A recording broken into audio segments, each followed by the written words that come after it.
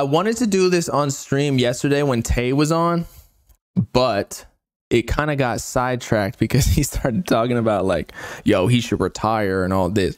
But I just did want to like show y'all this this fire song that Uno the activist dropped.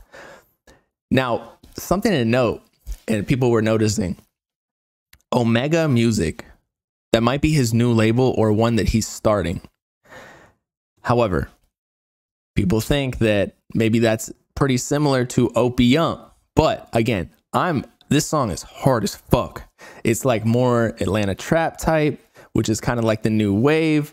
I, I feel like, and look, I'm not saying that he's, I'm not saying that he's biting Carti because we all know what's going on with, uh, with with Uno and Carti back in the day, where Uno actually created the baby voice. So technically speaking, I feel like Uno could do whatever. And since he was associated with Carti, people are always going to be like, "Oh no, you you're biting him." But realistically, like nah, Uno kind of started it in a way. So so that that conversation is deaded. But considering there was a rage wave or era because of Whole Lotta Red, or even before that because of SoFaygo and Trippie Redd, which dropped before Whole Lotta Red, or at least Miss the Rage was uh, previewed before then. Uh, that uh, that now since Carti started dropping more like Atlanta shit, more more trap shit, that now it's more acceptable, I want to say, for more underground artists to hop back on that wave. So play the fucking music video. Uh, uh, uh. yeah. Yeah,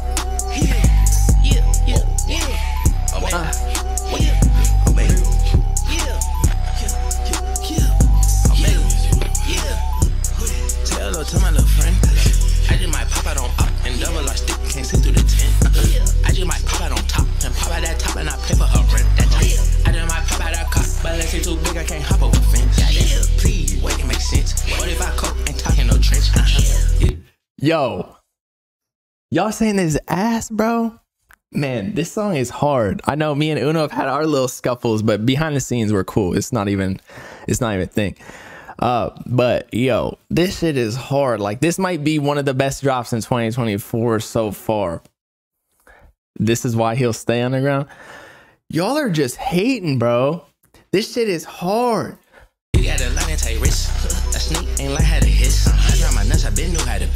Uh. I pop that rock at a wrist. Uh-huh. I beat the pop work on my wrist. Yeah. The bullet don't miss. Uh but it don't miss. I do my little dance when I hit. Okay. Rico on my kick and I flip. Okay. They know the game over the flip. Okay. Pull up with black and little hit. Okay. I get some rap on my neck. I just took me a little X. I played her booty. I pop in a little X. She wanna have sex. This is not checkers, they just say you with that chest, so you will be head. Get I will not confess. I teach your bitch how to dress. Now she get a check for looking impressive. Yeah.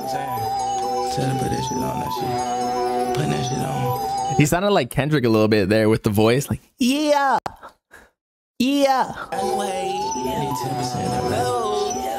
Yeah, yeah.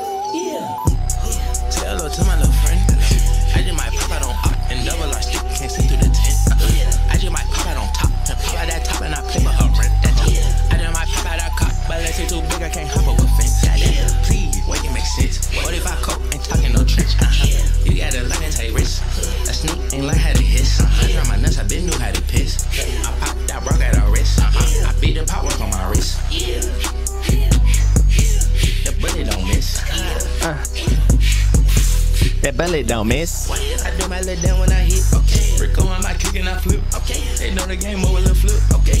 Pull up with black and little hit. Okay. I get some rap on my neck. I just took me a little X. Yeah. Yeah. Yeah.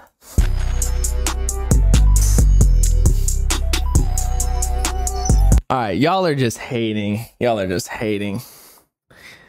This song is crazy.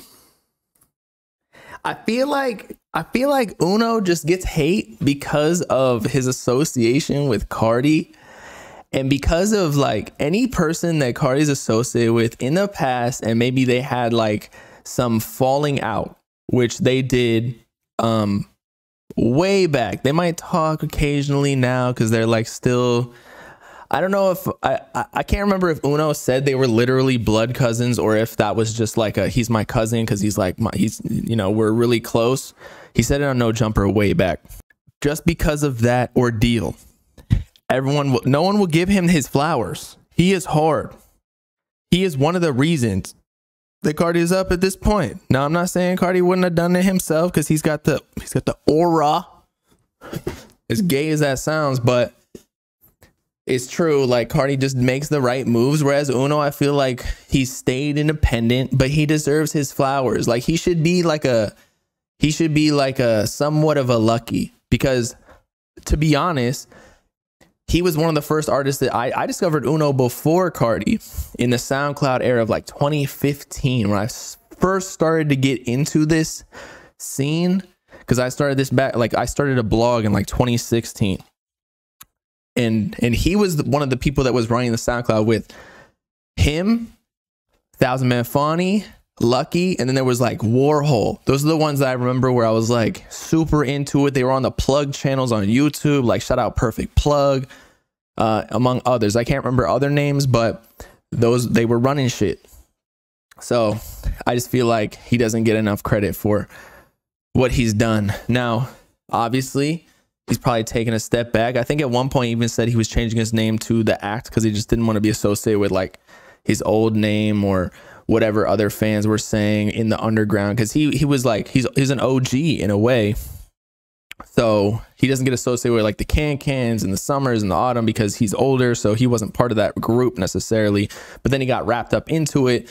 But then maybe he didn't like that because it was almost like it was trendy in a way, whereas he's already been in the game for a while. But still, I'm the one who doesn't give Uno his props. Bro, I give Uno his props. What are you talking about? I like Uno's music. I just think sometimes, like with the, I just couldn't listen to a whole Rage album when that was trendy because we liked it for a while, but it just when everybody hopped on it, I was like, I've already heard all of these loops a million times or like something similar. And it was just manipulated in a certain way to hit like a certain, a different note and I, I, just couldn't listen to it. So that was the issue. But if he's going back to the trap shit before this gets ran through, because Carti's hopping on it, and then everybody else is gonna do it too. Like this, I this is like this is this is what I really got into to rap for. Like these kind of beats, like the more dark shit, not the not the rage. Although the rage was cool for a minute, and I feel like if you do it right now, like as if you do it right in this period, you can still finesse it but it just got to a certain point where it like sounded cliche. But there are times where yeah, Uno has some mid songs, but everybody has mid stuff. If you're dropping enough music, you're gonna have mid music, and he's dropped so much. But this song, hard, hard. The trap sound ain't gonna get ran, ran through. Yeah, I can see that because this is like the roots. This is the roots of like 2010s, 2000s.